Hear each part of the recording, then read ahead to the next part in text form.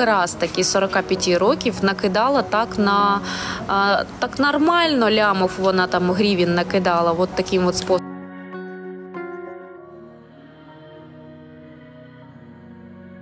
Так не треба розказувати.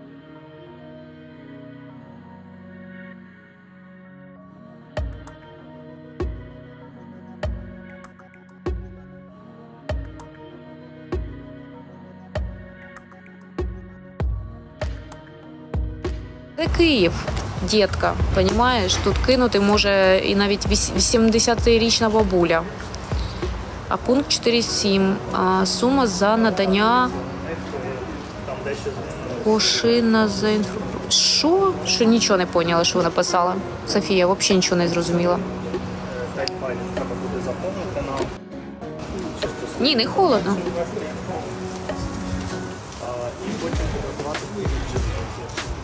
Ні, на вулиці нормально, до речі.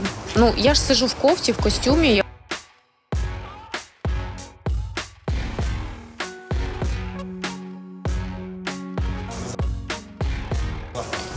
Дело в том, что даже вот этот договор аренды, який нотаріально нотаріусом не завірений, ви щоб понімали, це бумажка, з якою ви можете в туалет сходити. Навіть якщо ви підете в суд, ви нічого не виграєте. От якщо ви у юриста нотаріально завірили а, вот этот договор, він тоді ще дію, силу якусь має в суді. А так, вот это все, що ви підписуєте, вот эти всі договора, можна сказати, що це можете сраку підтерти. Ви ну от нічого не можете зробити, воно не має ніякої юридичної сили. Оці всі договори, які ми з ріелтами заключаємо, коли йдемо орендувати квартиру, цей договор заключаємо. На жаль, він ніякої сили не має. Це так, умовно, умовно, але на папір.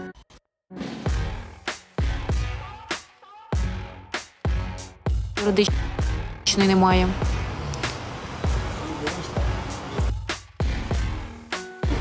Так не хотят завірити. Ну, значить, не орендуйте у тих, хто не хоче завіряти. В договорі пишеться, вони не хочуть завіряти, тому що вони ж не офіційно здають ці квартири, вони ж налог не платять. Звісно, вони не хочуть. е,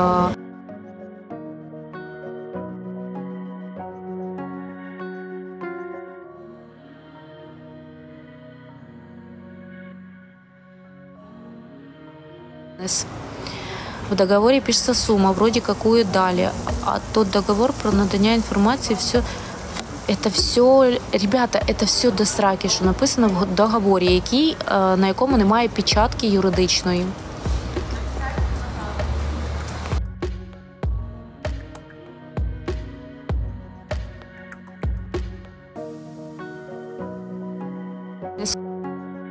Сходили до юриста, до нотаріуса, не завірили, не поставили, не стоїть мокра печать, не стоїть подпись діючого юриста.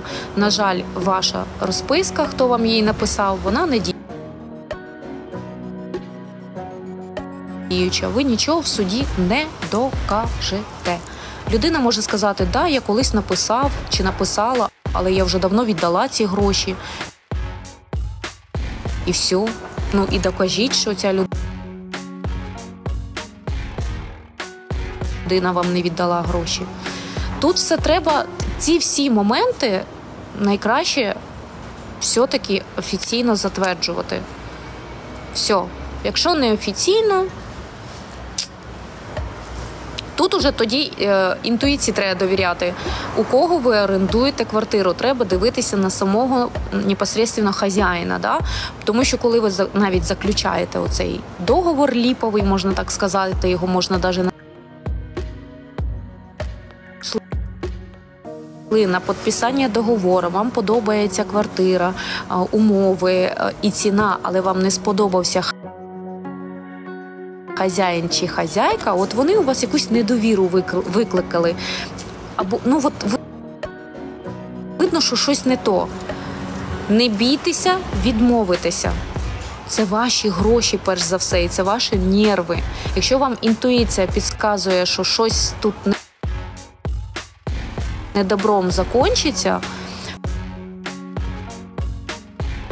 все, просто вибачитесь, скажіть, що вибачте, що зайняли ваш час, але я передумав чи передумала орендувати.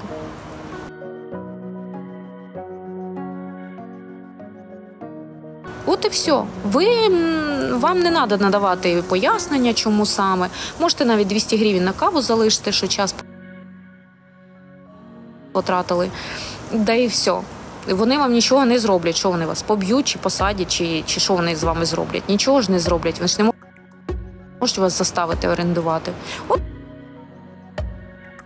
так, от взяли і передумали. Зато ви зекономите свої гроші, час, нерви і все остальне.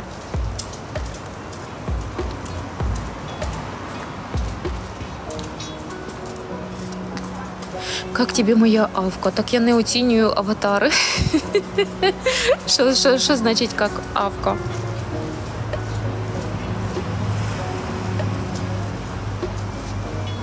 Не хочу заходити. По-перше, не треба на ти спілкуватися. Ми з вами не знайомі, я вам не подружка. До посторонніх людей треба звертатися на ви, якщо ви не в курсі. А по-друге, мені не цікаво цим займатися, заходити і оцінювати чийсь аватар.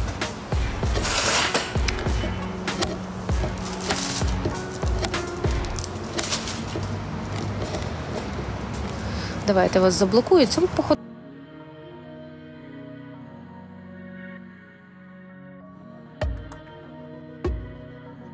Не знайде, тебе ніхто не бачить, тому ти можеш тут робити і писати, і говорити все, що хочеш.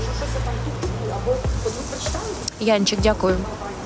Це, до речі, новий уход я купила цієї фірми.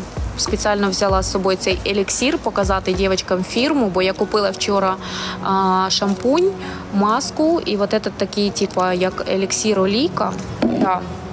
І мені прям подобається, як е, волос став такий напитаний, прям такий класний. Я сьогодні помила ним, буду ним восстанавлювати своє волосся, особливо оце, оце, оце фарбоване волосся. Зверху буду своє відрощувати, і воно буде балдеть. Ну і от це фарбоване. Скоро почне вигорати літом, і буду я дівчинка якась рижа, навірно. Ну нічого, ми це переживемо. Має бути границя спілкування в інтернеті. Це базове виховання ще з дитинства. Да? Ну, на жаль, у нас же ж не всіх дітей так виховують. Хтось взагалі вихованням не займається. Ви ж в курсі, да? Хтось просто народив і все, і ніхто цим вихованням не займається. Причому а, діти можуть жити не в дідомі, а з батьками. Просто батьки дітьми не займаються. І діти а, у них а, їх навчанням, спілкування займається вулиця. І тут уже як пощастить.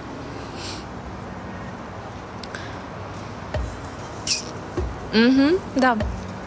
Да, я взагалі прийшла в смарт-плазу, хочу а, магазин ще сходити в сільпо, то зайшла сюди на каву.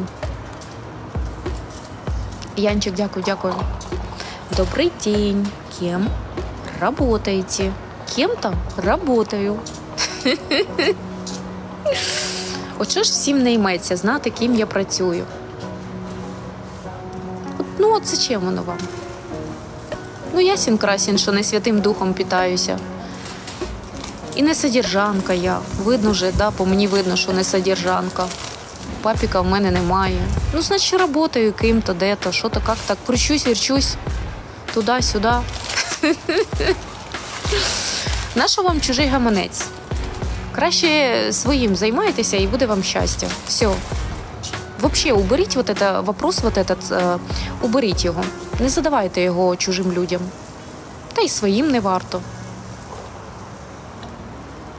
Скільки б не заробляли е, всі мої, скільки б не заробляла всі мої, чи там скільки б не заробляли ваші якісь знайомі, це всі їх гроші. Нащо вам знати, де вони працюють і скільки заробляють? Не тільки в столиці треба жити, крутитися і вертеться. Ну, дивіться, що значить крутіться, жити і вертеться? Це ж е, бажання кожної людини. Хтось живе собі на 10 тисяч гривень і причому кайфує від життя. І не хоче він ніяких багамов, Майамі чи ще якісь закордони. Йому хорошо під